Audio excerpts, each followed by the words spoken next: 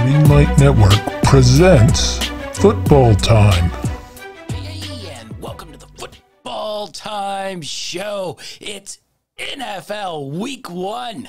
We're out of the college. The NFL season is upon us, and with us, as always, is Achilles Reign. Opening week.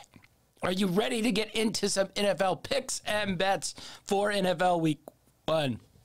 Uh, listen, after the way things kind of went yesterday, I'm not sure if I'm ready for anything. Although I did see it coming, I I do have that to defend myself with.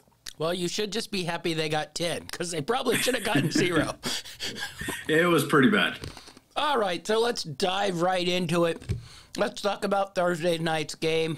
Um, you know, I, think earlier in the week I, I thought the Rams line was a pretty good line for the Rams, but I think as it got later and later, I started to hedge more towards Buffalo because they'd come out with a, a little bit more in, energy and probably want in, in this game. And, and that's sort of how it turned out. That and the Rams offense just played really, really bad. I, I don't know how much of that was Buffalo defense. I don't know how much of that was bad Rams offense. Uh, how do you think the game played out uh, for your uh, Los Angeles Rams here? Listen, unfortunately, it didn't play out exactly how I thought it would, but it did kind of follow the trend that I thought it would, which is, you know, after a Super Bowl uh, and you have that first game where they're hanging up the banner and everyone's taking pictures and they're doing autographs and other, you know, players from former players come start showing up and you have this whole atmosphere of kind of reliving the moment. Uh, a, lot of these guys lose track of the fact that you're going to play a game in a couple of minutes and your mindset should be focused on that. So it's one of the reasons why I kept talking about throughout the week with, you know, with uh, some of the other coworkers at, at our nine to five about, I, I kind of saw a loss coming, but I, I did not see, uh, you know, whooping that we saw last night. And I don't want to take anything away from Buffalo, but I think uh, a part of it was also the Rams just not being uh, mentally focused and ready for that game. Yeah, uh, you know, I, I didn't think um, overall the Rams, other than the, I thought defensively they played pretty solid. Uh, you know, they gave up a, a couple big plays, but you know, Buffalo's going to get their, you know, 24 to 30 points every single game, no matter what. They did manage to get five turnovers. Uh, you know, the only like long term thing I, I, think I can see uh, Rams wise that would concern me, which is sort of one of the concerns I had coming into the season, was offensively. They're really limited weapons wise. It, it, it's basically Cooper Kupp. And, you know, you, your running game, you got okay runners. I, I you probably say league average runners in Akers and Henderson. Uh, the line I think, you know, we knew there'd be a, a, little bit not as good a line as there has been in the past. I, I think you saw a little bit of that last year. I think it continues this year. And, I just worry uh, without Odell Beckham there to sort of stretch the field, it's going to be a, a little bit like that where it's we have to force everything to Cooper Kupp. We both have talked a, a, couple different times about Allen Robinson and if he's a good fit here. He, he didn't even, I, other than one little catch, he didn't even look like he was in the game. So, are, are your concerns also uh, that sort of stuff on the offensive side of the ball, or do you think they'll sort of find a way? I, I, I don't think the offense will be bad. It'll sort of find a way, especially versus poor teams. But I think top level teams like the Bills, who can rush the passer like that, has a secondary like they do. It's just going to be difficult to sort of force the ball every time into Cooper Kupp. You even saw it in the Super Bowl. Basically, until that last series, they couldn't move the ball all that well because the only play was to force the ball to Cooper Kupp. And then that last series, they were able to force the ball into Cooper Kupp. So, do those concerns sort of uh, bring to you a long term effect this season as well? Well, listen, first of all, I'm going to say this. I think the Rams are going to be okay. You know, just to point things out, this is the first time since Sean McVay has been the head coach of the Rams that they've had a losing record. This is the first time, so it goes to show just the culture that he's built, uh, you know, with the Rams organization. So I'm not too worried about that long term. Uh, I do have some concerns though. I don't think that you know I can really put uh, Allen Robinson's performance on him solely on him. Uh, I think that a lot of it has to do with the offensive line. We knew that you know with the retirement of Whitworth that there was going to be a couple of holes there. I know Noteboom stepped up, but he's not Whitworth. You know, he's not there yet. And, and the the rest of the offensive line's not there yet. They're not meshing quite quite well. I mean, that Bills. I know the Bills defense got a lot better during the offseason, but man, they were getting to uh, Stafford. I'm talking about within you know under two seconds in certain plays. So a lot of it had to do with the Bills D line being really good, the Rams O line not being that good um, and just not having time. I think that's one of the reasons why we saw everything pretty much being forced to Cooper Kupp. Um, you're going to have situations where Stafford's going to need to do those no look throws uh, like he attempted last night, but you're also going to have uh, that come back and bite you in the behind. I mentioned in our previous, uh, you know, uh, prop bet show that I really like Stafford to lead the league well, in interceptions. Pace, so I, I listen. I, I, was sitting there and I was I was kind of bummed out. I, even though I had a feeling the game was going to go the way it did, I was kind of bummed out watching it live. But in the back of my head, I was like, "Yeah, I told you about those picks. I told you." And I, I can see more coming, especially if the offensive line is going to keep playing the way it is. Um, you know, really quick on that Allen Robinson uh, situation, I saw a tweet earlier today where it said uh, here's a breakdown of Allen Robinson's highlights, you know, in his opener with the Rams. And the video literally just ended. It said, "Thanks for watching." Uh, I thought that was kind of funny, but yeah, I'm not too worried long term. You know, the Rams have a history of starting off slow, uh, not this slow, but they were going up against what a lot of people, uh, you know, are uh, basically crowning the uh, the Super Bowl champs prior to the season even being played out. So I think that Super Bowl hangover, you know, uh, everybody's head wasn't in the right place and going up against a really, really good Bills team. Um, I think it's just a recipe for disaster. But uh, I look for them to get it together uh, going into next week, and we'll see what happens. Yeah, long term, I, I don't look for the Rams record wise. Eh, the offense just, I think I had trepidations going in a little bit, and you sort of watch that, and and you see it a little bit now. Maybe Robinson finds his form. The the weird thing about Robinson is he's not one of those receivers that, you know, bolts wide open. He's one of those receivers that always has a defensive back on his back. He just uses his body and frame his size, yeah. yeah, and catches the ball. And it's one of those things where does Stafford yet trust, you know, to force the ball in there, even though he's covered but not covered? You'd sort of say, I, I sort of liken him to, you know, like Dez Bryant not at the beginning, but towards that very end, the last couple of years of Dez, where he'd never be open, but you'd still just sort of throw the jump ball over there because he still had that big body and big frame. If they could find that, I think they'll be you know, they'll find a little bit more rhythm, but it, it's how long does that take before Stafford trusts sort of forcing the ball into, you know, something that looks like coverage, but it's not really coverage uh, to Allen Robinson because he can sort of shield and protect and catch the ball that way. You know what really threw me off is I was building a, a you know single game parlay, and um, one of the things I took, I actually uh, I gave up some points. Uh, actually took took the line down to the Rams plus ten and a half. I figured that they would lose the game, but I thought that they'd keep it within at least ten. Um, obviously, they got blown out, but I almost uh, you know, place uh, Cam Akers in my parlay, and I'm I'm kind of glad that I did it, but I also didn't see it. I mean, I don't think anyone really got a heads up about Darrell Henderson really kind of uh, taking the majority of the snaps there. Well, I did because I had the under uh, 900 yards for the season for Cam Akers, which is looking pretty good because I, I think he ended up with like two carries there. So uh, yeah, it, it, he didn't look good. He didn't look good either. I don't know. Maybe something's up with him, but uh, going forward, I think it's gonna be an interesting thing. Yeah. Uh, anything on the Bills? Uh, uh, Josh Allen looked freaking ridiculous. Uh, one of those picks was totally not his fault. Uh, that's where interceptions get a little weird, where McKenzie basically hands the ball to the linebacker. But my God, did Josh Allen uh, look really, really good? Oh, he looks just like he left off last season.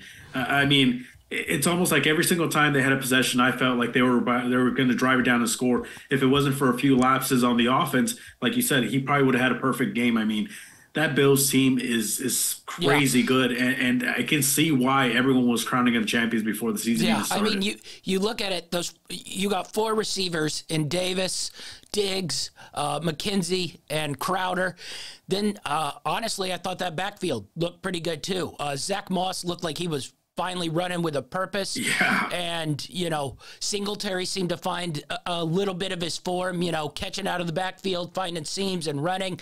Uh, I know Cook fumbled on the, uh, you know, uh, his first carry of the season, which sort of put you behind the eight ball, but they just are deep and ridiculous. And even the line I thought looked pretty good, which would probably be the one question mark on the Bills' uh, offensive side of the ball. Yeah, I was really concerned about their secondary, but you know, it seemed like they were pretty much going in and out of the nickel defense pretty much all night long, and yeah, those and they held up. Uh, held they held up. up. man. And then, I mean, I know, I know you look at Cooper Kupp's numbers and you're like held up, but listen, Cooper Kupp's going to do his thing regardless of, of, who you're playing against. But I, I, was impressed they were able to shut everyone else down. I think uh, overall it was a really good game for the entire Bills team. Yeah, I, I think that uh, AFC East. Uh, any dreams that the Dolphins thought about uh, peaking up. I, I, don't think they're quite on that level. We'll see what they uh, do this week. But uh, wow, uh, that was really, really impressive by the Bills there. Uh, they. If they can stay healthy, it, it could be an interesting uh, ride here. All right, let's get into the games left to start out down south, and let's go New Orleans. First, the Atlanta Falcons. This is a five and a half point line here. This is an interesting game because I, I just I don't think we know what to make of the Saints. We know they have good players, but uh, as we talked about in our preview, the two most important positions that you look at, they have very large question marks in Dennis Allen and, uh, you know, Jameis Winston. They go to Atlanta, are five and a half point favorites. How do you see this game playing out uh, for you? You know, uh, I'm kind of expecting at least a little bit of what we saw last season from New Orleans, at least defensively, uh, because they do have a lot of the same weapons that return. I know they lost a couple, but um, the first thing I looked at when I was looking at this game was the injury report. Uh, I believe for New Orleans, Tre'Quan Smith, the wide receiver, uh, and then they have a couple tackles, Young and Owen, who are a little banged up. They're questionable for the game, uh, while Atlanta is just um, Drake, the receiver, and uh, their cornerback Hall were the only ones that were reported as questionable. Um, you know, look at the last five games before the season ended last year. Uh, New Orleans went 4 0, 3 0 in the division. Uh, Atlanta went 2 and 3, 1 and 1 in the division. And they just couldn't really get it together. And I know that they were, they're, you know, kind of uh, playing with their, with their now starting quarterback. Uh, but I expect the, the Falcons to be a little bit better than they were to close out the season last year, but not good enough to beat this New Orleans team, especially if the defense plays at the level that we're used to. I think a lot of it's going to have to do with Jameis Winston. I think he's the big question mark here. If he can play somewhat mistake free, I mean, we know he's got a history of throwing lots of interceptions. If he can manage the game and just play like a true veteran, then I think New Orleans is going to have no problem covering here.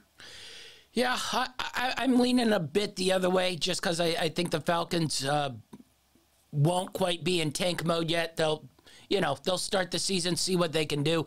The other thing I was looking at was this 43 number. I, I I think people think this might be a little bit of a shootout, but I, I think this has a chance to be a, a, defensive type game that really sort of has both teams trying to hold possession because they both don't totally trust your offense, which is a little weird, you think, with the Saints, with the weapons they have. But uh, I, I just.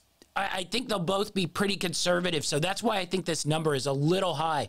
Uh, at five and a half. So I, I think the Falcons will at least come out and, and, play pretty well and pretty hard here in, in this game. So uh, I, I lean a little bit towards the Falcons here. I got a couple bets on this game in, in this one. Um, we're going to go with the Atlanta Falcons plus five and a half for me for $250. Then I got a couple uh, prop bets. I got a lot of Kyle Pitts action. I got Kyle Pitts plus 170 anytime touchdown. Kyle Pitts first touchdown scorer 11 to 1 uh, Kyle Pitts 13 to 1 for two plus touchdowns and Pitts over 57 and a half yards receiving at 125 in this one so I got a handful of action on the Atlanta side of the ball thinking Pitts will be able to really get a lot of dump offs off Mariota because uh, the last time we saw Mariota, basically that was his maneuver. Uh, check down, check down, check down. And there's probably not anybody better to check down to uh, than Kyle Pitts here. So I, I, really like Kyle Pitts in this one. I, I just. I think New Orleans will win, but I think this might be a little bit closer than people uh, think at, at, that five and a half number. Also, I think that under might come into play, but I don't have a bet on it just because I don't have a great read on either of these teams. You know, speaking of first touchdown score, I, I kind of saw a picture of uh, of one you hit last night. Yeah, I know. We're off to a big start with the uh, Gabriel Davis trick play. Anytime you can risk ten dollars or one hundred dollars Always a good start. Now I will say your Rams screwed me over in my little uh, three-team same-game parlay. And, and I know that's the first thing I thought of when I was watching the game. I was like, "Well, that didn't hit." Yeah, I know. I was very angry. I put it down under the 50 number, and then they can't even get a score. And then I thought I was going to get it on the back end when Stafford had that other turnover, and then Moss did the stupid uh, fumble there at the end that uh, screwed me over. And then everybody just decided they wanted to go home and didn't put any cheap scores on the board. But good you know, start to the season with a, a, first touchdown scored for that one. Not to keep going back to that game, I know we're talking about the Falcons right now, but uh, Lux, uh, my wife, she uh, she she made a, a parlay, um, a prop parlay, basically where she was going with uh, Cooper Kupp and. Um, uh, Bills receiver. I'm drawing a blank here. Diggs, McKenzie, uh, Stefon Diggs, Stefon Diggs, uh, and she just needed one more catch from Cooper Kupp, and she would have had a pretty nice payday too. Uh, when she first made it, showed it to me, I was like, "Why would you make that kind of bet?" And uh, of course, uh, she was just one more catch from hitting it. That's so sad. Well, uh, you should have told your Rams to keep trying to score there the last two minutes instead of yeah, they they they gave up. One in the they, game over. they gave up. They knew that game was out of reach. No, there's nothing they could have done. But uh, yeah. going back to this Falcons, I, I, don't know, man. This five and a half spread, I know it seems kind of large, but you know, look at last season, and, and this Saints team pretty much dominated this Falcon team. Uh, I know that historically they they tend to play each other pretty well, and I'm a big believer in divisional opponents, but. I think first game of the season, all the rust, you know, all the stuff you got to deal with. I just think the Saints are a slightly better team just just based off firepower alone. So I kind of like the five and a half. I'm not taking it, but I, I kind of like it. Yeah, you and uh, Dynamite David, fans of the uh, uh, road favorite. when it's we, the Falcons. We should probably mention we're in the DraftKings uh, pick'em contest, and we asked for our top five picks, and our boy Dynamite David just unrolled like four straight over touchdown road favorites to us. Uh, but mind you, he's also the guy that was trying to sell the Ram fan on taking the Rams last night. Uh, so that that should tell you all you need to know. All right, well, we'll stop teasing the dynamite. But uh, I must say, there was an article sent later that day that showed the number of uh, percentage of touchdown point road favorites in the NFL that covered. But nonetheless, yeah, uh, Falcons plus five and a half for me. I, I think this will be a little bit closer uh, than we think, but uh, nonetheless, it'll be interesting to see where the Saints uh, lie uh, and, and, sort of if they could get 10 out of that uh, NFC South. All right, let's move on to the Baltimore Ravens, seven point favorites. Versus the New York Jets. Uh, the total sits at 44 here. Uh, there was mention that Zach Wilson was going to play, but then uh, I don't know if they didn't like what they saw, but they ended up they're going to sit him for the first four weeks on the, uh, uh, you know, IR there, so he doesn't get any playing time, which uh, somehow means Joe Flacco still a professional quarterback in the NFL, not, not in the Canadian League, not in your uh, local uh, league in the city, but uh, a NFL quarterback. Uh, Joe Flacco versus the Ravens. And uh, somehow this line has started to drop as well, which uh, we got it at seven and a half in our DraftKings contest. I saw it at seven today, and now looking, you can find it six and a half some places. Oh, um, I like that. This is now getting to the point where I'm a little bit more willing to go, uh, you know, Ravens here. I don't have it just because, uh, you know, how I mentioned about touchdown favorites on the road here, but uh, what are people thinking and why is money coming in on the Jets here? Uh, Is there some way you can convince me that the Jets are in this game somehow? I mean, listen, uh, we both mentioned how we really like the way they drafted this offseason and their acquisitions are in free agency, but I don't think either of us are ready to say that these guys are contenders just yet, especially with Zach Wilson being out for the first four weeks, as you mentioned. Uh, looking at their injury report, I mean, Zach Wilson's out. Uh, Duane Brown, their their offense tackles, uh, he's questionable. Um, their cornerback, uh, Harder's, uh, is questionable. Another offense, McDermott's questionable. Um, Fant's questionable. They've got a ton of offensive linemen that are questionable, and even and if they do play, even and even if they do play, I mean, you know, there's a reason why these guys are in the injury report week when there's something that's ailing them. You know what I'm saying? So going up against this Ravens team, which I mean, until Lamar Jackson got hurt, we're, we're pretty much on fire. Uh, I don't see a, a, scenario where they can cover uh, six and a half point spread. I had it at minus seven. Yeah. Um, and, and I was tempted to take it. I, I even wrote a little note that says, with all the injuries, cautiously, Baltimore minus seven. But um, I ended up not taking any action on this game. But at six and a half, I could definitely jump yeah. on that. If this stays six and a half, and I can find it at one of my books at six and a half, that starts to pique my interest because it comes off those key numbers. And I, I just, I'm trying to think how the Jets are scoring here. Uh, are they running the ball on the Ravens? I don't foresee that. Uh, I, don't foresee how they're going to pass the ball on the Ravens, even if the Ravens secondary was a little bit. Uh, you know, down last year, but a lot of that had to do with injuries.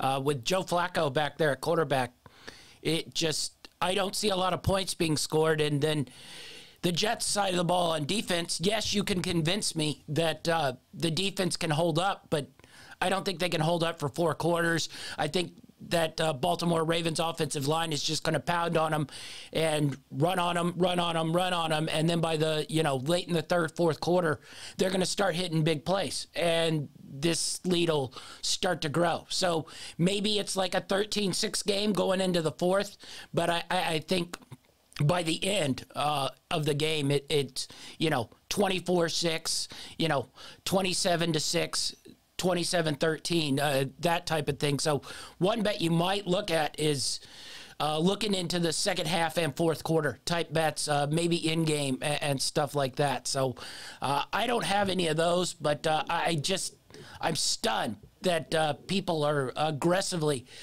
you know, taking the Jets here and moving this number down and down and down. It, it, just a little bit confusing. certainly once Joe Flacco got named the quarterback. I figured this number would go up, and we'd have an advantage uh, when we were talking about it on our uh, DraftKings Super Contest pick, and it turns out that it's going down, which uh, just is confusing. So, uh, any wagers on this game for you? You know, I didn't have one. Uh, but at, I'll tell you what, I'm going to parlay this one real quick, and I'm just going to put $500. I'm going to do uh, minus six and a half, and I'm going to take the under in this at, at 44. So I'm going to parlay those two things. That gives me plus 264 odds. Uh, I think that there's, I think there's a good shot at this. Yeah, uh, I, I, got two uh, little player plays here. Uh, Rashad Bateman plus 160 anytime touchdown uh, at 62.50 for me, and then Rashad Bateman first touchdown plus 900 for me at 62.50 you know, nothing on the game yet, but uh, like I said, if this number trends down six and a half, and then I certainly will be keeping an eye on it in that uh, third, fourth quarter. If maybe we have a a close game or closer than we think, and I can hop on a, a favorable line for the Ravens there. All right. Uh, let's move on to the next one. I, I think we're both uh, pretty excited to to see how this game uh, plays out. Pittsburgh Steelers versus the Cincinnati Bengals here. Uh, six and a half point line is where the sits here for Cincinnati. Total is at 44 and a half. I, I know we both uh, really like Pittsburgh here. Um, what is your thinking here on the Pittsburgh Steelers getting six and a half points here on the road? honestly, it sounds really favorable. Okay, but I just can't see myself picking against the Bengals after how hot they got. In my opinion, they got better. They fixed some of the holes they had last season. Uh, but even though, as much as I like the Steelers, and and as much as I think they're going to be better this season, I just can't bring myself to take it. So I got no pick in this one, but I kind of think that that Steelers plus six and a half is pretty good. Yeah, I, I definitely like the uh, Steelers plus six and a half here. A couple things. Uh, this game is pretty much close, no matter what the teams are. Uh, routinely every single year, certainly on the opening week. I, I think that's what gives me more opening week. You're making the Bengals almost a touchdown point favorite here versus Steelers team who's you know, maybe there are a lot of question marks on the offensive side of the ball. I, I get that. But defensively, I don't think there are a lot of question marks there. Uh, I think they'll be able to slow down the, the Bengals a little bit and keep their team in the game. This is always a smash mouth game, and I just think six and a half points for this Steelers team is ridiculous. And the other thing is, you know, I, I think they're factoring in that the Bengals line will be better because they brought in some guys. But why would we believe that till we see it? That's not just because you bring in offensive linemen doesn't mean that they are going to be cohesive or they'll be as good as they were the year before. So that's something where I want to see, certainly along a Steelers defensive line, which has been able to get after you um, probably since the beginning of football existed in the 1930s for the uh, Pittsburgh team. So it just Six and a half seemed like a lot. This is one of my uh, straight bets overall. I got the uh, Pittsburgh Steelers plus six and a half, 250 here. I just, I think this will be a close game. Uh, I also looked uh, a little bit at the uh, uh, fun little prop of will this game go to overtime? It didn't quite have the long shot odds that I wanted, but by Sunday when I'm feeling a little frisky and uh, a little more loose with the cash, that might be a, a, Sunday where I just say, "Oh, it's just ten dollars." I might throw it on on there. Uh, if you remember last year, uh, Cincinnati went to overtime uh, in their game uh, versus I think it was Cleveland they played, uh, and that was Week One this game tends to go into overtime a lot. I, I recall two seasons ago a three-four overtime game, uh, possession game there. So uh, I, I, really, really think uh, this one six and a half a gem to take these six and a half points. I got a couple other uh, player props in this one. Uh, Pickens, uh, plus 270 anytime touchdown. Um, I, I, don't know how much run he'll get with the depth at wide receiver early on, but I do think they'll definitely have a goal line package for him uh, with his sort of size and speed. So I, I really like that. And then one of the Cincinnati Bengals new acquisitions, Hayden Hurst.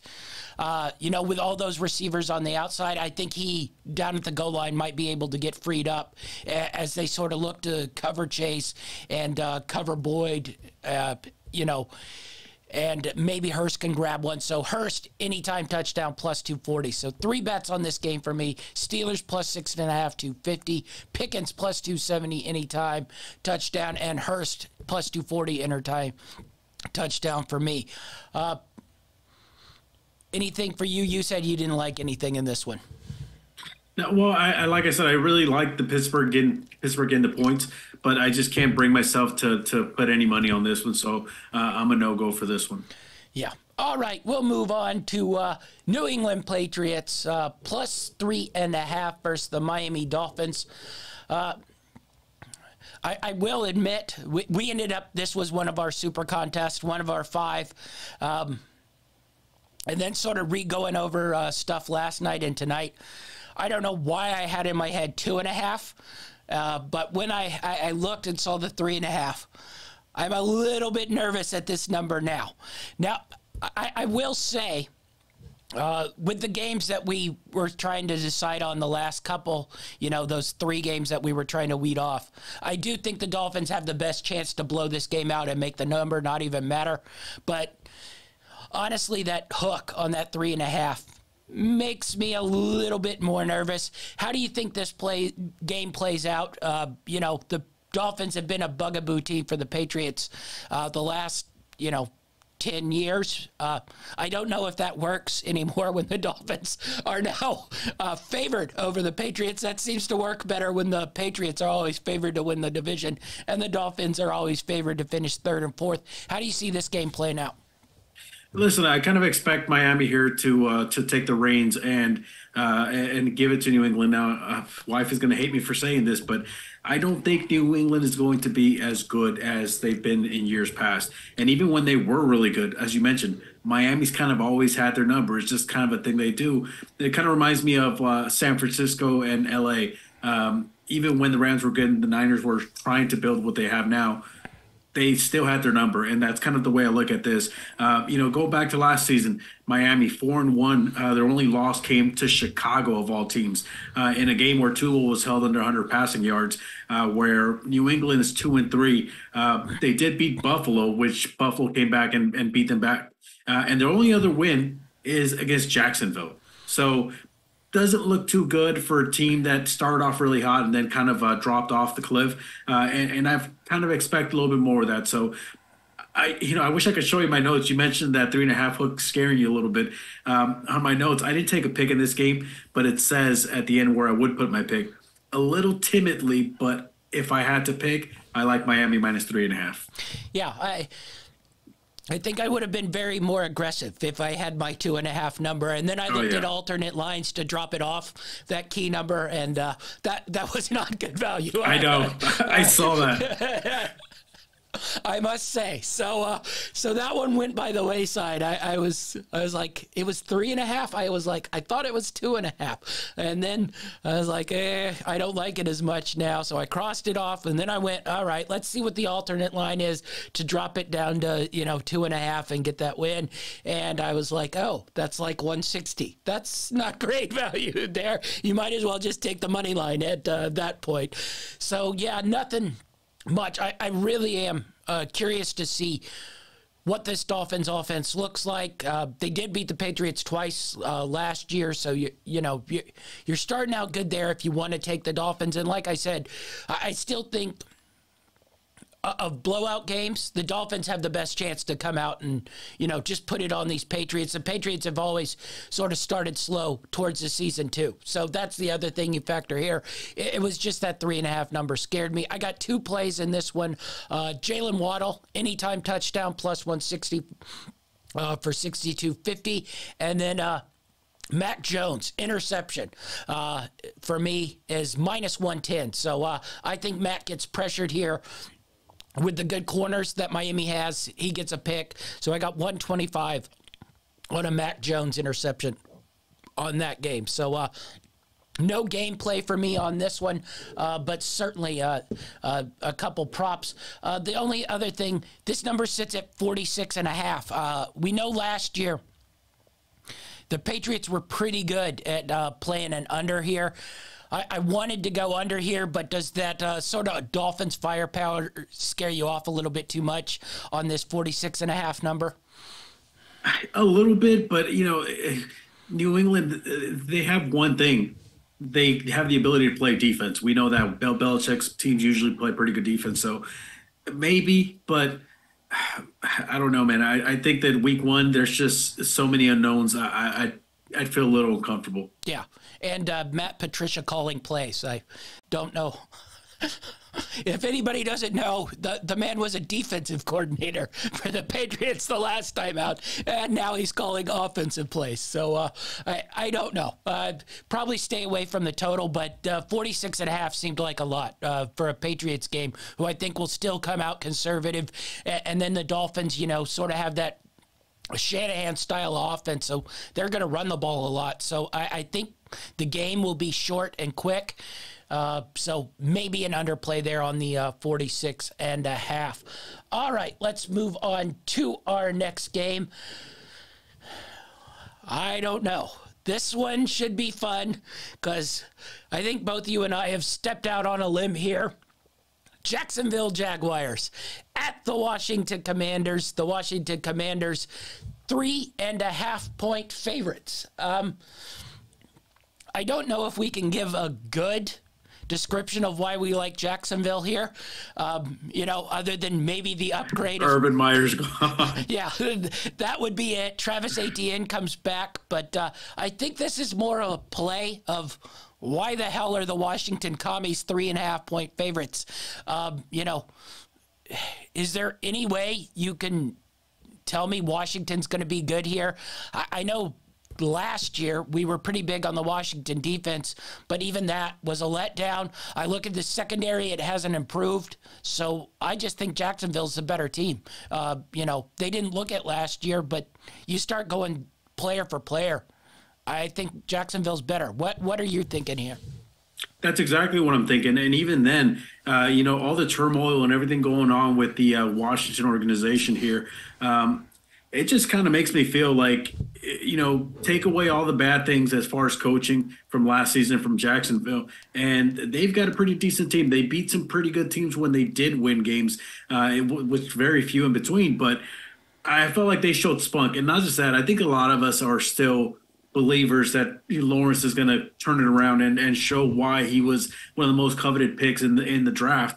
Um, I don't know, man. I, I'm with you. I, I know it sounds really weird to say, but I think it's more of a not a disdain, but a, a disappointment with Washington than it is and in like being enamored with Jacksonville. Um, that at least that's how I think. Yeah, definitely. So the other thing is here, you know, I, I guess Washington gets the uh, favored sort of thing uh, because they're at home, but Washington hasn't had home field in I don't know, 20 years, basically since they've moved out of, uh, you know, the old RFK Stadium and, and, moved into the one that they have not even actually in Washington, D.C. So basically, I, I think this stadium will be empty. If you if you want to go on resale value, you can get tickets for about twenty dollars. That that's uh, how limited uh, you know this. I don't think the Smokies tickets are that cheap. so if you would like to go to the Jacksonville Jaguars Washington Commies game, uh, you are more than able to pretty cheaply. Uh, so I just think it'll be a barren stadium because I don't know that Jacksonville fans will really travel all that much. So that levels off any home field advantage here. And I just think Jacksonville's going to be a better team. I, I don't think they're going to be a great team, but I, I think you'll start to see things turn around. I mean, they've had a top five pick for six years in a row here. So uh, at some point, I think that talent has to start to level out a, a bit here. So like I said, Jacksonville plus two and a half for me. Five hundred dollars on that one. One of my big plays of the week's Jacksonville plus two and a half on this one. Uh, Trevor Lawrence plus 450 anytime touchdown. I think Doug Pederson will start to utilize him a little bit like they do Josh Allen. That's that's a big athletic body that you can basically run, and he's bigger and faster than a lot of the defensive guys. So why not utilize that uh, a little bit more? So I like that plus 450 anytime touchdown. Now, of course, that's not passing. That has to be a rushing or receiving touchdown, or I, I guess a defensive touchdown if Trevor Lawrence is uh, playing the defensive side of the ball would suffice as well. But uh, uh anytime touchdown plus 450. And then I got two Travis Etienne uh, props as well. Uh, over 21 and a half receiving yards, minus 120. And then uh, Travis Etienne over three and a half receptions. I thought that one was a little bit spiked. I, I, was hoping it'd be down to two and a half, but it's not juiced. It's at plus 125. So I think, you know, dump downs, I, I think Travis Etienne might get to round three or four of those. So I went over on the three and a half receptions plus 125 on that one. I've got just one play, and my one play is literally uh, I was looking at the at the spread for um, Jacksonville plus two and a half pays out at minus one ten. If you feel that they're going to win and, and, you just want to take it as a straight up bet, why not take Jacksonville money line? Gives you plus one fifteen odds. Yeah. At that point, you're at least getting something else on the back end. So that's what I'm doing. I'm putting three fifty on Jacksonville money line. Yeah keep that in mind as I go over my parlays at the end of the uh, show, because that one might uh, pop right back up there. I, I, saw that value as well, and I, I was like, that's not uh, all that bad there. So we're yeah. both very heavy on the Jacksonville Jaguars on the road. It's kind of so, scary, man. So, heavy on that, and I, I, think we both are the ones that convinced Dynamite David to ride the Jacksonville Jaguars in our pickup contest too. So. Uh, what could go wrong uh, taking Jacksonville on the road here? At least they're getting points and not favored like last year when they went to That, Houston. that's what I was going to say. Said, as we're taking we're taking road dogs, not road favorites. All right, let's move to the San Francisco 49ers versus the Chicago Bears. San Francisco 49ers, seven and a half point favorites. Um, I, I, I don't know what you could give me that the Bears are going to compete in this game. They are at home. That that would be about all I'd look at. But I just thought this spread was a little elevated, you know, at seven and a half. So I didn't really have a ton of uh, action in this game because also the other thing is I, I want to see what the unknown is of Trey Lance before I, I start taking touchdown road favorites, uh, you know, real aggressively here, even if it's uh, of a team as poor as I think the uh, Chicago Bears are. So what do you make of this game here? Listen, uh, my big thing here is going to be what can Trey Lance do? And I know that they've got Jimmy G in the back burner, but I, I think that's what everybody's wondering. I think, you know, there's a lot of people that are crowning them to win the NFC at this point. And, and I don't understand why. I like, I, I'm not a big fan of going into the unknown and just assuming, you know, this is, this is it. Uh, but I, want to see. I know we've had a little sample. I want to see it for an entire season. If he can stay upright, if he can play, if he can run the way that he's that he's shown flashes of, then I think the Niners are going to be okay. But uh, to me, it's still it's still big void of unknown. We don't know what we're getting from them. And um, for a spread, that I know that the Chicago Bears aren't that good, but minus seven, uh, at least that's what it's currently sitting at seven. I mean, for a guy who we really haven't seen him start, uh, you know, a year, I, I don't know. I, I don't know. I think that the Niners team is a solid team, and I think that they're definitely contenders as long as the quarterback play remains somewhat to what we got last year from Jimmy G. Yeah, I, I just you got an unknown on the other side too. That that's Yeah, why yeah. it's just a total takeaway. It's I'm not touching, uh, you know, Fields and the Bears, and I'm not touching, uh, you know, Lance quite yet and the 49ers. I want to see him blow a couple teams out, and then if they do get rolling, then I might start, you know, looking at them. But certainly, Not to not to mention the fact that you know I know he's probably going to play, but George Kittle all Yeah. of a sudden just popped up into the you know into the injury report. well, And, imagine uh, that. Uh, I mean, he's got a history of injuries here, but you know, you look at a, a guy who's getting his first official start to the season. Uh, you know, who basically everybody's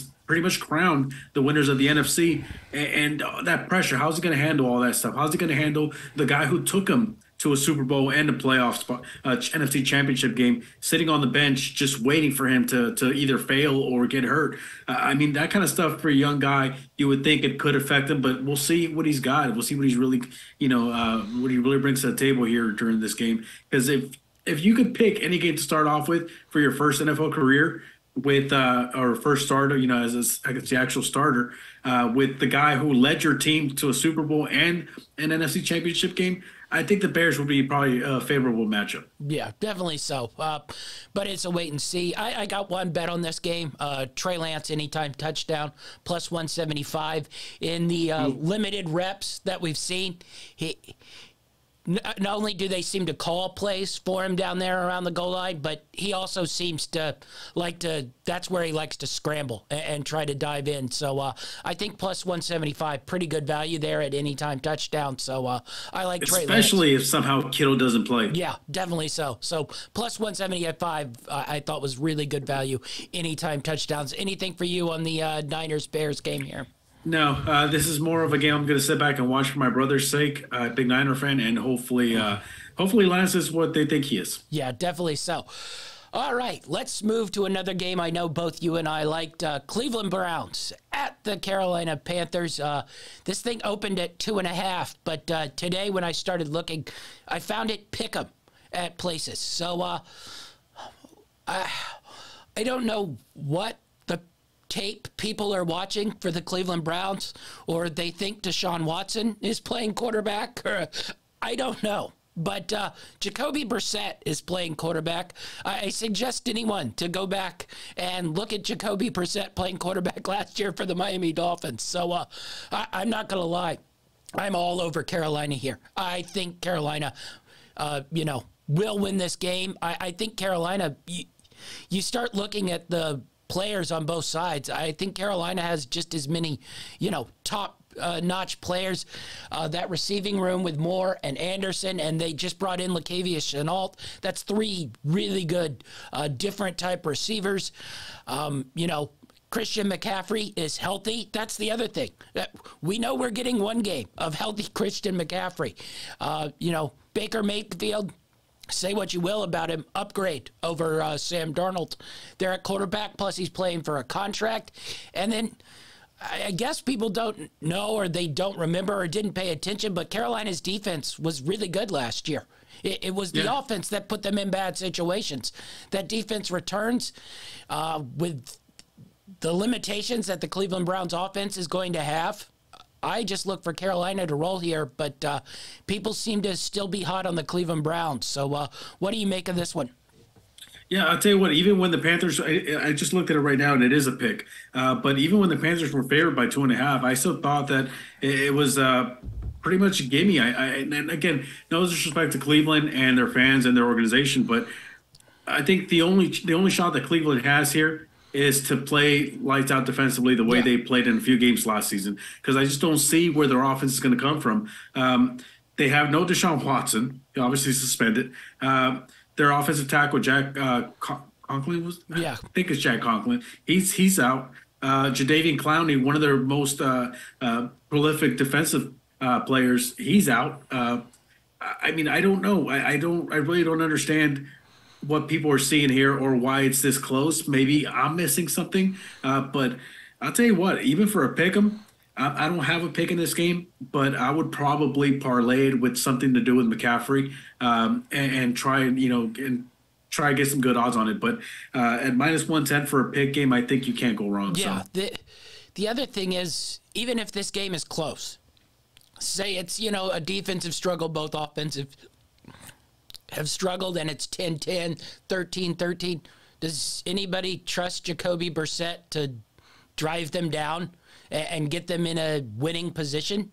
I mean, that's just not something I trust. And at least Baker has done it in yeah, recent that's memory. What I I mean, you don't have a great option in Baker, but it's a better option than what the Cleveland Browns have. So yeah, if you're going to give me a pick straight up at home with Carolina here uh, over this Cleveland team, I mean, even with Deshaun Watson, I, I'm not going to lie, I, I might lean uh, Carolina's way until I see what Deshaun Watson is. So, yeah, I, am all about Carolina here. This is probably my biggest play. I got uh, Carolina on the pick 'em at 750 for me. That's my biggest money play uh, of the week. I just I can't believe people are taking the Cleveland Browns on the road with Jacoby Brissett at quarterback. I mean, even last year they they had Baker at quarterback, and they weren't any good either. So why are they improved uh, from last year to this year? And they've gone to Jacoby Brissett at quarterback. So uh, yeah, really confusing ab- about this one. I changed my mind. I'm taking a pick here. Uh, I'm going to take the Panthers also. Uh, I mean, for a pick, uh, I'm going to put 250 on mine. Yeah. All right. Uh, let's go to the Indianapolis Colts versus the Houston Texans. Uh, this is another one, huge road favorite, eight and a half uh, for the Indianapolis Colts here. Uh, you know, this is a hard game to sort of handicap because I do think the Colts are a much better team, but you got a division game, week one. I, I just I am not going to be one of those who's real aggressive on eight and a half points on the road, even if I do think Indianapolis is that much better uh, than Houston. Is there anything here in Indianapolis versus Houston that you think you lean one way or the other? It's just too big a spread for me, even if I do think Indianapolis probably wins this game 30 to 13. I mean, I can totally see where your hesitation is at, and, and, and I don't, you know, fault you for that. But I just don't see how the Colts don't win this game, especially with Matt Ryan, a, a more competent quarterback under center uh, than they had last year.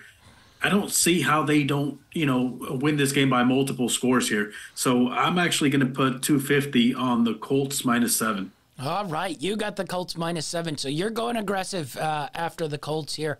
I just didn't, I didn't love anything about this. I this is one of those where I just scratch off pretty quickly. Now I do got some player ones in this one. Uh, Pittman anytime touchdown is plus 105.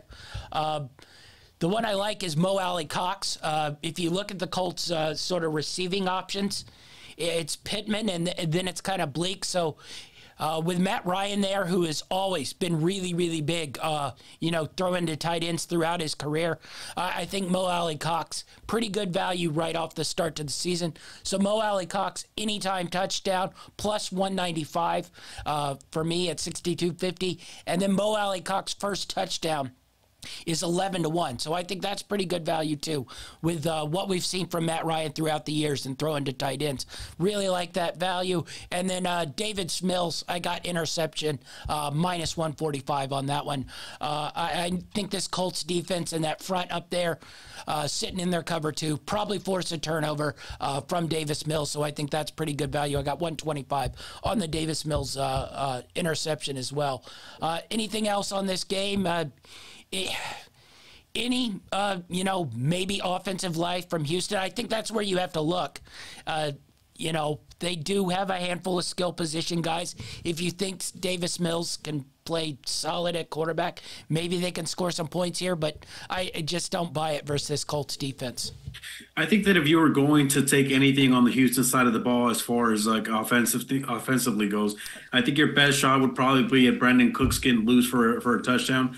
Uh, but that Colt defense, though, is pretty stout, and, and, I don't expect it to deviate a lot from what they did last year. Uh, and, and, they did pretty good last season uh, with most wide receivers. So uh, I wouldn't put anything on it, but if you wanted to, I would say Brandin Cooks to score t- anytime touchdown. I think uh, and offers decent enough value where you could at least uh, make a play and then watch your team and hopefully uh, make some money. Yeah, I, would be weary of from the uh, numbers I looked at of taking the uh, Pierce uh, kid for the Houston Texans, uh, rookie running back versus this uh, Indianapolis Colts front. His numbers were really, really bloated in the uh, individual props if I was you, I, would be looking at unders in those. Anybody who thinks Pierce is going to get off to a really, really hot start here uh, versus the Indianapolis Colts, that's a pretty tough opening game. So I know everybody's really big on him in fantasy and thinking he's going to have a big year, but uh, I, I, don't think this is the game where he kick starts it off and, and, and really blows up. You know, Brandin Cooks is plus 180 for an anytime touchdown score. Yes, I did see that. Uh, I, I, I saw that, and I, I, I definitely looked at it, but I, I, was already pretty long on my anytime touchdowns. All right, uh, let's move uh, to an interesting one here. Philadelphia Eagles versus the Detroit Lions. Eagles minus three and a half, and uh, as uh, much love as we gave the uh, Philadelphia Eagles in our uh, you know NFL preview. Um, I must say I looked at this game and then got scared off pretty quick. So uh, that says something. Honestly, uh, it just looks like a trap game. That three and a half number, opening week, Eagles on the road versus Detroit. I just I didn't like the number, so I, I couldn't go aggressively on the Eagles quite yet at three and a half. Uh, so, what do you make against this uh, game here? Because you also were really big on the Eagles on the NFC side of things. So, what did you see when you saw this number at three and a half? Yeah, I'm really high on the Eagles this season. I really like what they did during the offseason, and I really like what they were building last season. Uh, you go back to last season, they were four and one to finish off the season. Their only loss came to the Cowboys in that uh, 51-26 pummeling. Um, and if I'm not mistaken, I believe that's the game where Jalen Hurts didn't play. Yes, because they had to they had their position locked up already. Uh, where you flip it onto Detroit side of the ball, they went two and three in their last five. Both of those wins, though, were impressively against Green Bay, uh, which I think was no Aaron Rodgers. Um, yes. And, and, against Arizona, a team that was still playing uh, for position in the NFC West. Uh, their losses, though, were to Seattle, Atlanta, and a banged up Denver team. Uh, so those things alone, the history with the Lions, uh, and how good I think the Eagles are going to be. You know, I know you got a little weary. What'd you say, three and a half? Yeah, three and a half. Yeah, I've got I've got three hundred dollars on the Eagles minus four. So that tells you how how confident I feel about this Eagles team. That's not to say that it's a guarantee here, but uh, I, I do feel like this team is, is, one of those teams that has really good potential to uh, open up some to open some eyes. So um, Eagles minus four for three hundred.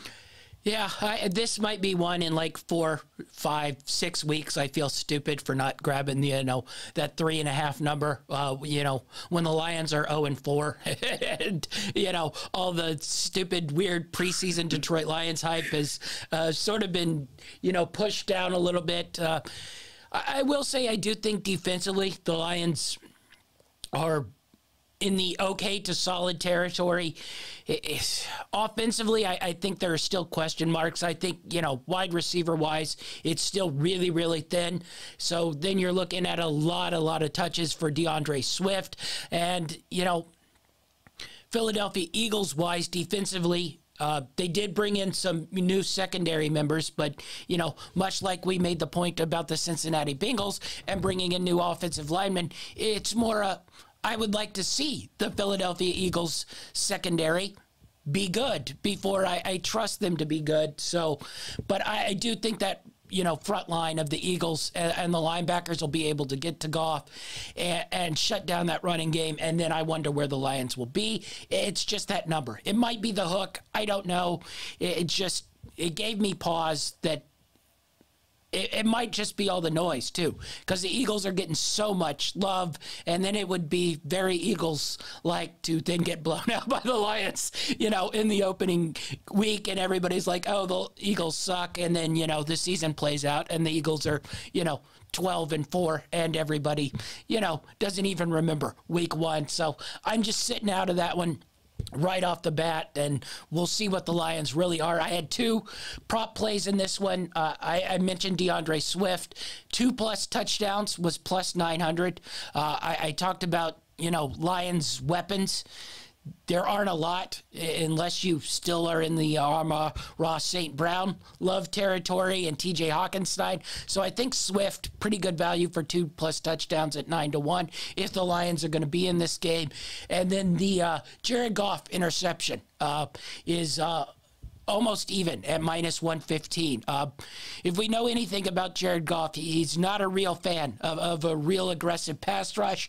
You don't get much more aggressive than the Eagles pass rush. So I think Goff will give us one here with that Eagles pass rush, uh, you know, getting to him and we get a, a throw. So 125 on uh, Goff, uh, interception thrown, uh, 6250 on the two plus touchdowns for D'Andre Swift. You said uh, you were taking the uh, Eagles straight up in this one. Anything else uh, on that? I mean, I will say this that um, if somehow the Lions are able to protect uh, Jared Goff a little bit, and that secondary for the Eagles isn't meshing the way that you know everyone's assuming that they're going to, I, I do like a, a, you know a first touch, not a first touchdown, uh, anytime touchdown score for their tight ends. Jared Goff showed a lot of love to his tight ends, yeah. especially as the season closed out. Once he got back from his injury, he was showing a lot of love to the tight end position. And I think uh, last I looked, it was plus 175 if I'm not mistaken for an anytime touchdown score at the tight end position. So uh, I think there's some decent value there. But again, I'm not taking it because I think that uh, the Eagles are going to roll in this one. Yeah, definitely so. All right, let's move to one of the big games on the week. Uh, the Las Vegas Raiders go to the Los Angeles Chargers. Uh, the rematch from uh, Week 18 uh, and the showdown to get into the playoffs. The Raiders won that game in a, a ridiculous score fest. So, uh, Chargers, uh, of course, naturally are three and a half point favorites in a game they lost just six months ago. So, uh, break this one down for me. Chargers remain a three and a half point favorite. The total sits at 52. How do you think this game's going to go? Okay, I'm probably in the minority here. Okay, I know that uh, the Chargers are favored, and, and I think it's rightfully so. I think that even though the Raiders beat them last season for that playoff spot, I still think the Chargers are a better team, and I know that they've got some issues with their coaching staff, uh, and and that defense was nothing to write home about last season. But it, it seems like they added some veteran players. Uh, you know, you got Mack there, and yes, he's not going to completely change the team because he's not the Mack that we used to uh, see back when he was with the Raiders, for example. But I th- I still think he's a solid player, and I just I know that you know everybody likes to you know uh, rave about Davante Adams being the number one wide receiver, but we also haven't seen him perform an entire season without Aaron Rodgers throwing the ball. So uh, there's another unknown. Um, I don't know, man. I, I really think that I think the Chargers are the smarter play here. I, am not taking a play here because uh, currently sits at three and a half. I, I don't like the hook. I, I, I do envision this being a tight game. These teams know each other really well, being divisional rivals, and, I anticipate kind of a shootout. Uh, I think defense is going to be out the window, especially for this first game with all the rust and uh, people getting ready for the season. So I, I like the Chargers in the tight one here, but I'm not taking anything. Yeah, uh, I, am sitting out mostly on this one. I, I just want to watch it and, and, see what these teams do. I, I want to see if this Chargers defense uh, has put it together and improved. Uh, I, I want to see if the coaching has improved and, and we make you know, a handful of smarter decisions. So I don't want to lean Chargers that way.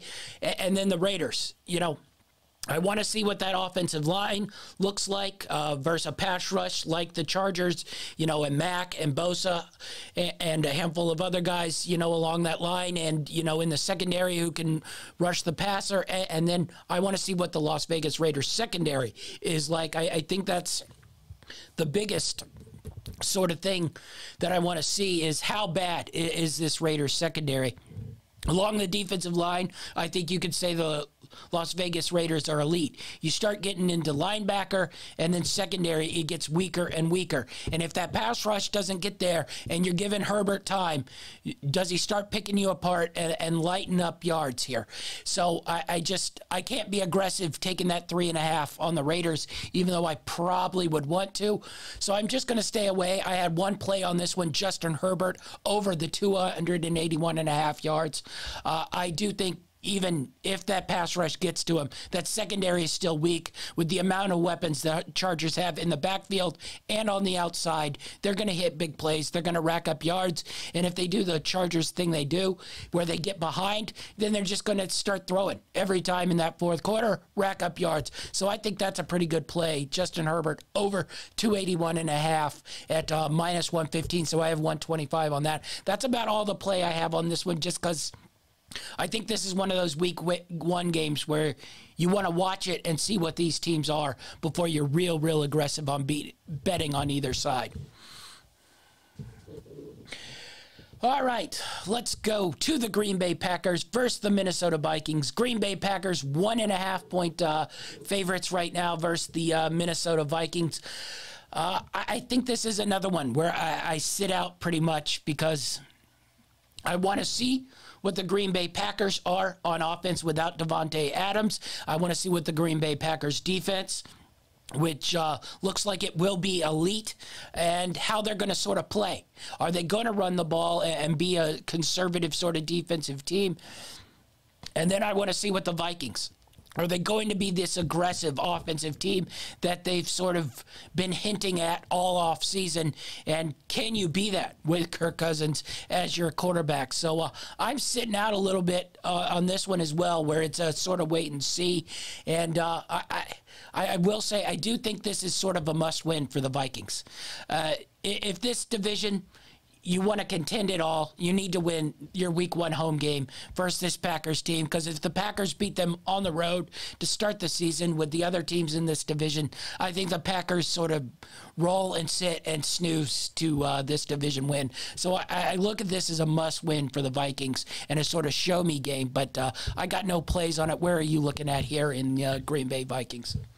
You know, I'll be honest with you. I've been going back and forth with this. I actually have it written down as a pick for me here, um, but I don't know. Something, something inside me just keeps. I, have this very un, uneasy feeling about this game. Um, you talk about the the Packers.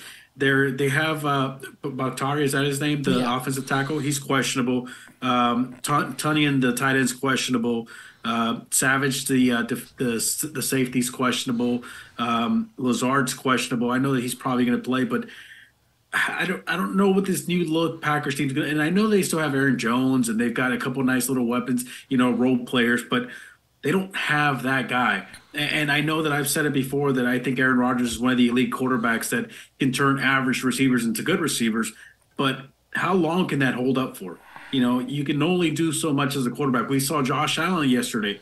He's putting the ball in perfect places, and his receivers, you know, uh, bounced off their hands a couple times, turned to an interception, uh, which looks bad on his numbers, but in reality, it wasn't on him. So how much can you really depend on the on this crew of wide receivers that the Packers have? You know, especially when you look at the Viking side of the ball and they've got weapons galore. I'm talking about Cook, Thielen, and uh, you know, it, it just it feels like a trap game. But I have a really hard time betting against Aaron Rodgers. So you know what? I'm going to go for it. I'm just going to get a little conservative. I'm going to put 100 on the Packers minus five, minus one and a half. All right. So aggressive Packers play early to see what they go. Uh, you know, I think I want to take the Vikings, but everything in my head says do not take this team. Just mark them as a black and never take this team and just watch and see what you get uh, because it's just too many years and too many signs of every game that they should win or should come out and show me something. Jekyll and Hyde. Yeah. yeah listen, I've called them Jekyll and Hyde for like the last five years. And, and, you know, when I was looking at their numbers, I mean, over the last five, they went three and two. Both of their losses were to playoff teams, Green Bay and the Rams. Yeah. Uh, it just – it's a Jekyll and Hyde team. They look really good against mediocre competition, and they look pretty bad against the elite competition. And the other thing is, everybody always gets their numbers. Everybody has all these guys in fantasy. All of them are good in fantasy, even Cousins. It's just like it's hard to sort of separate game from stats that you see uh, where, you know, Cook is an elite, Thielen is an elite, Jefferson is elite, the tight end is elite, the quarterback is elite. And it's just like one of those where how do they not translate to win games? But it doesn't translate to win games. And i just i had to stay away. I had one play uh, two plays on this game. The one thing i am going to play is the under uh, 47 like you said I, I think green bay is going to sort of switch their personality a little bit, which they had already had done it a little bit. Uh, but I think they're going to go more into it and be a defensive run first type of team.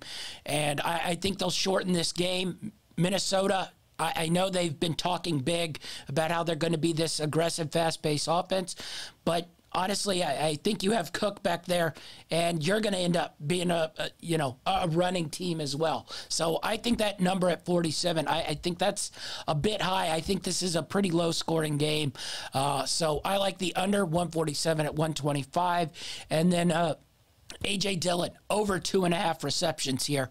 Uh, I, I, think uh, with Lazard ending up on the injury list, I know they say he's going to play, but I, I don't think he'll be fully healthy. So I think that even goes more to where they're going to use Jones and Dillon more as their, you know, pass catchers, quick passes out of the backfield. So I like A.J. Dillon over that two and a half receptions at plus 130. So you're getting a little bit uh, of plus value on that. So I like A.J. Dillon over two and a half receptions at plus 130 for 125 as well. Those are the only two plays I have on that one. So the under and the uh, A.J. Dillon two and a half. And I'll just watch this game and, and see what we sort of get out of the Green Bay. I think I'm more interested to see what we get out of Green Bay than I am Minnesota because I'm pretty I sure. I think Minnesota's, uh, yeah, I think Minnesota, we, we, know what we're getting from Minnesota. And, yeah. and as I mentioned earlier, the question is, is Green Bay still an elite team? Because yes. if they are, then Minnesota's going to lose this game. Yeah. Um, and if Green Bay is just mediocre, then Vikings have a shot. Yeah, definitely so. All right. Uh, I, I'm curious for your take on this one because Basically, I have no clue. The Giants go to the Tennessee Titans. Uh, the Titans are five and a half point favorites on this one. Uh, you know, I just don't know what either of these teams are. Totals at 44, so it sits basically at a middle total for an NFL game. The number sits at five and a half, which is basically a middle number for an NFL game. How are you handicapping this game? Because basically, I don't know what to expect from either team. You know, I, I laugh because uh, yeah, I, I always write little notes on on these games here, uh, just to, if I wanted to kind of summarize something really quick. And it says no pick, but it smells like an upset. But who's playing wide receiver for New York?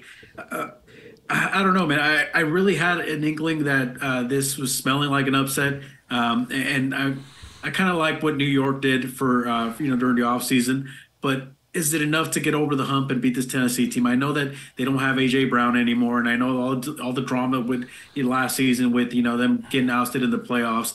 Uh, but I mean, let's let's be honest here. Tennessee has been consistently average, at least you know, if not good, average uh, over the last what ten years. Yeah. So I, I find it really hard to find it within myself to take anything within this game. Um, I think this is more of a barometer for Tennessee here. Uh, uh, you put them up against a Giants team that's not supposed to be good, and you see how they do. And if they can come out and dominate, then I think we're going to get a, a similar type of season from Tennessee that we're used to. Uh, but if they somehow manage to lose this game, then I think everything is up in the air. Uh, going from you know the quarterback's uh, tenure with that team to the wide receivers, uh, are they going to be a clutch for?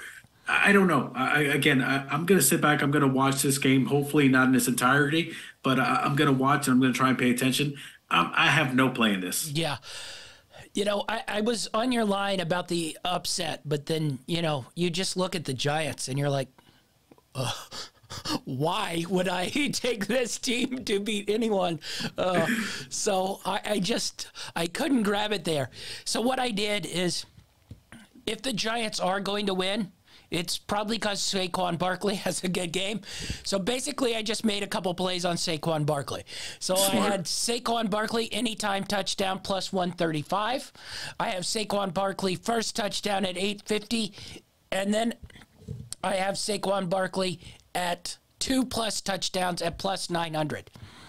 If the Giants like are going to win, Saquon Barkley probably needs at least two touchdowns. So nine to one there, you're getting more value, and he can have two touchdowns, and the crappy Giants can still lose. And I mean, not to mention the fact that Kayvon uh, Thibodeaux is questionable. Um, Sterling Shepard's questionable. I mean, just uh, this team, which didn't have a lot of weapons to begin with, uh, and their main weapons are always getting hurt. I, I, I, am totally with you there. If I had to put anything on this game, it would definitely be on uh, the on the position players. Yeah, that's about all I can give in this one because I have no clue what I'm getting from either side, uh, defensively, offensively, uh, game plan wise. Uh, this one, I don't know if it'll be pretty to watch, but uh, I'll definitely have to see what these two teams look like. Uh, next, we can put dynamite on it. Yeah, well, he's definitely going to watch. Uh, but we probably won't get an unbiased opinion. Uh, we'll probably get news about the great routes that uh, the rookie receivers were running or something, though they end up with like zero catches. All right, let's go to Kansas City Chiefs minus three and a half versus the Arizona Cardinals. Um, that line jumped, buddy. Yeah. Yeah, that one I looked today and it was up to six. So uh, I didn't like it at three and a half. I certainly don't like it at six. And then also looking at all the sort of player and team props, everything was so juiced for the Chiefs that I just couldn't, uh, you know, jump on that. So I basically have no plays here for the Kansas City Chiefs because I think the Chiefs will win this game, but I didn't like three and a half. I certainly don't like six. I have no clue what Arizona's going to be. I think they're going to be bad, but they have this weird little thing where they get off to hot starts, but there's no DeAndre Hopkins. So that makes me a little nervous on the hot starts. So, uh, what do you make of this game? I, I just I have no plays in this one, so I'm a stay away. I think the Chiefs come out and put it on Cardinals, but I'm not real bullish on that aggressive take if you were to tell me that the Chiefs are going to win this game by multiple touchdowns, I wouldn't be shocked. Uh, I'll start off by saying that. Even with that being said, I, I don't like the six point spread. I, I didn't like the three and a half point spread. Now, if it would have been two and a half, which I believe, I understand it's way too low for a Kansas City Chief team that was just in the uh, in the AFC Championship game. I, I get all that, and especially with no Hopkins. But I, I don't know, man. I I have complete confidence that this that this Chiefs team is going to find their rhythm, especially as the season progresses. Yeah, you know, we we had questions about them last season, uh, probably about two thirds of the way in, and then they completely turned it around and, and showed us why they're always one of the favorites to go all the way. I just I just can't see it playing this one. I, I the the few Chief bets that I thought about taking just didn't have enough value in there Yeah. for me, uh, which is why I just stayed away from everything. Yeah, I, I think that's where I leaned is I, I don't know what to do with the Cardinals, so I totally just sort of wiped them out. The few Chiefs bets that I liked, I just thought, well, that's, you know, you're taxing me here, here, and here for value because you think the Chiefs are really good. You know, if this was, say, you know, the Carolina Panthers, they wouldn't tax it as much. And I just, I just can't be real aggressive on the Chiefs if those numbers are going to stay where they are. So I end up with nothing in this game. I certainly will tune in to see uh, what the Chiefs look like and how the new weapons fit, but uh, I just couldn't make a bet anywhere on this game. And then even the total, 53 and a half, where Yeah. I'm like, well, I'm definitely not taking that over, but I certainly am not taking an over in an Arizona Cardinal Kansas, uh, an, an under, Under, in yeah. a Kansas City Chiefs Arizona Cardinals game because this might be 60, uh, you know, by halftime. So it, it was just this game is a, a cross off for me. All right, let's move to the uh, Sunday night game Buccaneers, Cowboys. A lot of storylines flowing in this one. Uh, Cowboys two and a half point dogs at home in this one. Uh, Bucks. What do you make of this game? Are you aggressive on one side or the other uh, here, Bucks Cowboys? I tell you what, I I, I kind of like the Bucks here, and it's not so much because I think that Tom Brady's going to come back and do what Tom Brady does. It's more of a, I'm not sure I believe in Dallas anymore. I I don't like the moves that they're making. I think that they're playing more for a future build that they're that they're looking at. Um, they let go of their of their top wide receiver. Uh, they pay the, the, in my opinion, the more worn down uh, running back in in their depth chart, and they're banking all their money that somehow this is going to work and the defense is going to improve based off what it did last season. I, I can tell you right now, if I had to put money on anything, I would put it on the Cowboys defense being slightly worse because the reason why they were so good last year was because of the turnovers. There's no way you can keep up that that same margin of turnovers that they had all season long. Um, and again, the Bucks, there's they made it to the championship game. There's a reason why they well, not the championship game. They made it to the uh, the um, conference. Well, went up against the Rams. Yes. Uh, right before the championship game between the Niners and the Rams. And um, I don't know, man. It's Brady. I, I'm not gonna. I'm not gonna take anything here. I'm gonna. I'm gonna skip it. I'm gonna watch this game uh, just because I want to see what each team brings to the table. But I hope I'm wrong on the Cowboys. They're exciting to go up against. They're exciting to watch. But I, I really think that you know this roller coaster ride that they were on. I, I think it's starting to head down now, and I think that uh, people are going to start really disliking what they see just based off the things I've seen. Well, I'm going to shock you a little bit. I'm Oh, riding gosh. the Dallas Cowboys plus the two and a half here. I, I think Tell me, tell me why. I, I, I need, I need, I need to know why. Because I, I was sitting there breaking my head. I'm like, my, the question wasn't even, do I take the Cowboys? The question was more, do I think Tom Brady can come out and do it again? You know, especially with the injuries at the wide receiver position. And I'm like, oh, he's got Jones, and you know, Evans might be a little, little sore, but I think he'll be okay. I, I just couldn't do it. But again, none of these questions were based off the Cowboys because again, I think the Cowboys are trending in the wrong direction. Uh, again, just my opinion. But what what did you see? Well, I, I agree. I think the Cowboys are trending in the wrong direction. The other thing I see is I think the Bucks are trending in the wrong direction. So I, I think an opening night night game in Dallas. Uh, I, I know that stadium doesn't hold the same sort of home field advantage uh, that you know the older ones did. It's more a you know theme park stadium than a you know uh, home field stadium. But I think opening night in Dallas gives them a slight little boost. And honestly, I, I'm just I'm a little concerned by the Tampa Bay Bucks. I'm concerned along their offensive line. The one thing we know the Dallas Cowboys front line can do is, is rush the passer. So I think they get to Brady a little bit. I'm concerned about the weapons on the Tampa Bay Bucks, both Gage and Godwin, not really healthy. So that just leaves Mike Evans out there on the outside. Um, I, I don't know what to make of the Bucks running game. You know, there are photos of different varieties of Leonard Fournette and uh, his size and weight. Uh, you know, photos are photos; those can be manipulated. You can take them at different angles, but I, I can I can vouch for that. Every single picture that's ever been taken of me has been modified to make me look bad. So, yes, I agree that maybe Fournette isn't quite as, let's just say, husky as he might appear to be. But I do think he might be a little husky. So I don't know if they're going to get the run game that they think they're going to get, especially along that offensive line. I don't know what to make of the Cowboys offense. I do think Tampa Bay's defense will still be good and solid. They probably won't be able to run the ball very well with Vita Vea sitting in that middle. Uh, but I do think you take Suh out of that middle, it, it hurts them a little bit. So I think this will be a tight, close game. Uh, and I think the Cowboys just cover these two and a half points.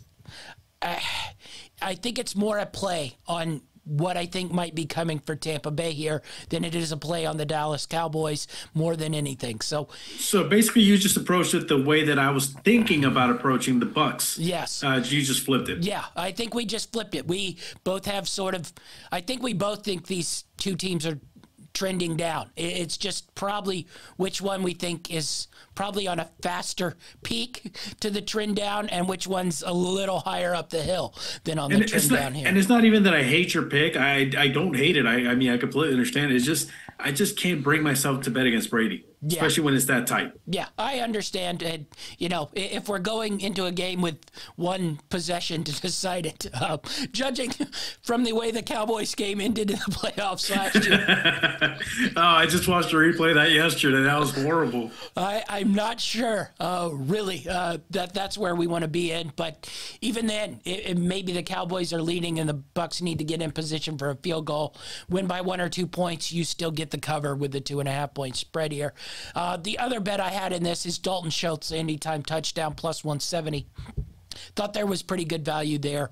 Uh, especially down in the red zone with uh, you know a couple of the Cowboys receivers out, so you know really only CeeDee Lamb on the outside. I think Schultz might get a, a couple looks down uh, in and around the red zone here, even with the Tampa Bay Bucks uh, linebackers. Uh, pretty solid in coverage so that's the way I, I, am seeing that one. You lean a little bit more Tampa. I lean a little bit more Dallas. I just I like the night game at home on that one. All right, let's move to the Monday night game. Uh, Denver Broncos at Seattle Seahawks. Uh, Denver Broncos are a six and a half point favorite on the road here in Seattle. Total sits at 44 and a half. What do you make of this one? Does Russ come in here and dominate? Uh, does Seattle have a little something on a Monday night, uh, you know, home field here? How do you think this thing plays out? I, honestly have no clue how it's going to play out. As you know, I'm one of the uh, bigger uh, Russell Wilson. I'm not going to say fan because uh, he played against my team and he played really well against my team for many, many years. But uh, I'm more of a supporter. I I understand that you know he's not super dynamic with everything he does, but I, I think that one of the one of his biggest traits is he can make magic happen. I've said this several times uh, when speaking about Russell Wilson, and I don't know. I feel like he's gonna he's gonna come out with a vengeance. He's gonna try and prove something to his team. Uh, the team that basically sent him away and said we're gonna rebuild. You don't have what it takes anymore. Uh, we'll see. Um, I, I think this this uh, Broncos team is leaps and bounds better than Seattle is, and, and, I don't see a way where Seattle can keep up with it unless Penny goes off and just has a monster game. That's the only way that I can see this being close. But even even then, uh, you know, the, Bron- the, Broncos linebackers are they're no slouches. They're they, are they are pretty stout. Uh, I know they're not the best. They don't have the best front seven, but they're pretty stout, especially up front. So I think Denver can do enough defensively to slow down Penny. Even though I really like Penny, um, the question is, can Russell Wilson, uh, you know, bring back some of that magic that he's known for and, and show his previous team, uh, you know, they should have never let him go. Uh, I kind of like the Broncos here at minus six and a half, but I'm not taking a play on this just because of how uh, how wide that spread is. Yeah, I, think the spread's a little too big. I, think, if anything, this is one of those where, you know, it's a close game going into the fourth quarter, and maybe the Broncos make a drive uh, to win this. So I, I, don't really like the six and a half number there, but I, am not quite aggressive enough on the Seahawks side of things to really take that six and a half point number. Uh, you, you, mentioned it. Uh, Penny would be the way, but I also think this game probably goes sort of defensively and run game for both. I don't think either are going to be real aggressive, uh, you know, out the start. So I, I do think this will be a, a, pretty close game. Maybe uh, there's a play in like first half if you like the Seahawks, uh, as both teams sort of try to find their rhythm, and you get a little value there. First half Seahawks. If you if you like the Seahawks, if you're leaning Seahawks, it might be better value to take them first half uh, than the full game where the Broncos sort of work things out. I don't have anything other than a couple you know individual plays. Uh, Penny anytime touchdown plus 160. I do think that's really good value. I, I don't think the Broncos are going to shut out the Seahawks, so uh, I, I, do think they run one in there, and then uh, two plus touchdowns for Penny at 12 to one. So I, I like that value uh, as well on that. Um, I'm just curious to see uh, what sort of team the Broncos are. Are they going to sort of be a run first, uh, you know, defensive team, or are they going to do the weird thing where you know let Russ cook?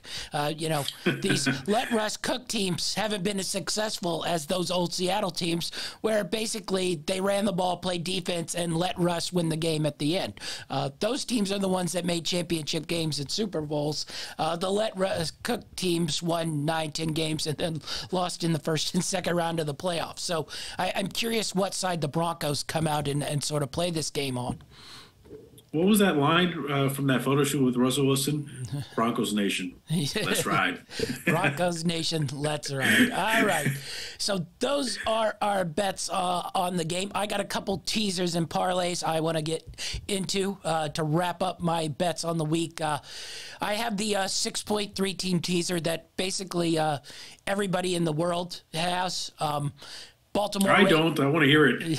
Yeah. Well, you and the rest of the world, everybody's probably going to have this, and everybody's probably going to lose money on it. Vegas is probably lapping up and laughing. But uh, six point team teaser Ravens makes it minus one. San Francisco makes it minus one.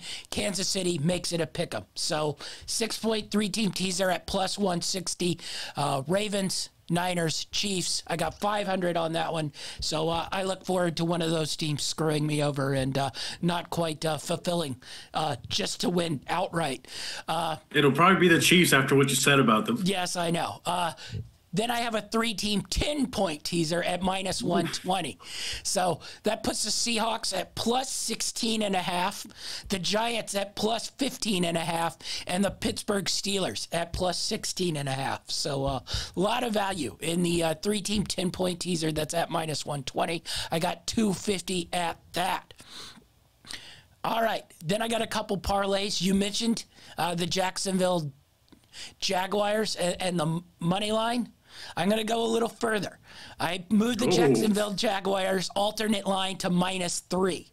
So that made it 160. And then I took Seattle Seahawks plus 210 money line. That made it a seven to one parlay. So plus 706 on that two team parlay. Jags minus three, Seahawks plus 210. I put 125 on that two team parlay. I have a three leg parlay of Joe Flacco under 233 and a half passing yards, Baker Mayfield over 217 and a half passing yards, Trevor Lawrence over 237 and a half passing yards. That is plus 553 on that three team parlay. I have 6250 on that one. I may need you to send me that one later on. I'll send you that one later on. All right. You'll like this one. Two leg parlay plus 288 value. You got Russell Wilson over one and a half passing touchdowns. You got Trevor Lawrence over one and a half passing touchdowns. So two touchdowns passing for each, plus 288, almost three to one value on that one. I got 125 on uh, that uh, two leg parlay. All I right. like that one. You ready for this one? Three leg parlay plus 506. Longest completions. So I got Mac Jones under 35 and a half on longest completions. Tom Brady under 38 and a half on longest completions. And then Russell Wilson over 36 and a half on longest completions. So uh, that one plays plus 506 on a three leg parlay. Under on Jones, 35 and a half. Under on Brady, 38 and a half. Over on Wilson, 36 and a half. All right, let's go to another three leg parlay at plus 540. I got Saquon Barkley over 55 and a half rushing yards. Aaron Jones over 51 and a half rushing yards. And then the wild card one. Uh, this is the one I didn't like in the group, but uh, I couldn't find another one I really liked. Trey Lance over 39 and a half rushing yards. So it can happen. Yeah. He's got legs. I really like those first two. So if you want a little less value, I think you squash out the Trey Lance one and just do Barkley and Jones over 51 and over 55 and a half. You could get a little bit very value there, but I, I wanted to put that one at a three and get that plus 540. Hey, listen, I, I really like, I you know, I know it, it it's you're a little hesitant about it, but that Trey Lance one, Chicago, man, they they're known for trying to get after the quarterback. They got they got a pretty decent pass rush, and if they if they try to come around the corners, Trey Lance is going to go right down the middle, man. So I, I kind of like that one. I think that's what I was looking at. That maybe he might hit one or two, you know, 15, 16 long ones, and then maybe one or two more where he's, you know, four or five scrambles out of bounds and he hits that over 40. So uh, that's why I made it three. But also, you could scoot that down. I, I think Barkley, Aaron Jones over 51, over 55. Uh, probably more likely to hit than all three, but. Uh, I, I like that value at plus 540 on that one. Uh, next up, Three leg parlay, Mo Alie-Cox over 23 and a half yards receiving, Christian Kirk over 55 and a half yards receiving, and Mike Williams over 56 and a half yards receiving. Uh, I really like that one. Probably the Alie-Cox is the one that's in between, but I think with the Colts and, and the way Matt Ryan plays, I think he'll chuck down uh, to the uh, you know, uh, tight end pretty, pretty quick. Uh, you know, Jonathan Taylor isn't as uh, great as a pass catcher. He's improved, but they usually put in like a Hines or, or something like that as the pass catcher. So I look for Mo Alie-Cox to get a handful of those uh, dump downs. And then my last one. Two leg parlay at plus 285. Uh, Pittman over five and a half receptions.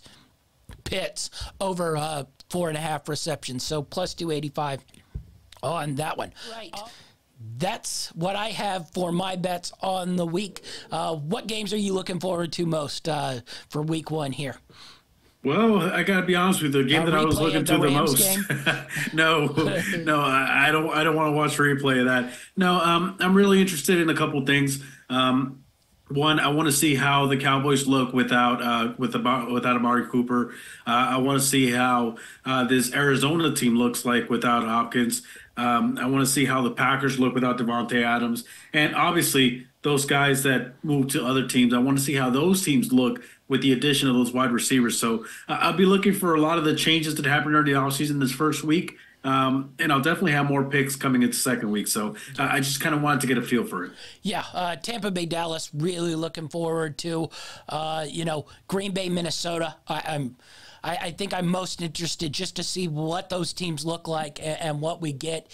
And, and then lastly, I, I just think, uh, you know, I, I want to see the Steelers Bengals game because I want to see what the Bengals look like coming back, and, and I want to see what the Steelers look like now that the Ben Roethlisberger era is over, and, and sort of get a gauge if the Steelers need to, you know, it, maybe go into a little bit of a rebuild here or sort of stay status quo. They, I think, the last couple of years they've been trying to rebuild, uh, you know, on the quick and fly as they bring in pieces as the older guys go. So those are the three games I'm really looking forward to.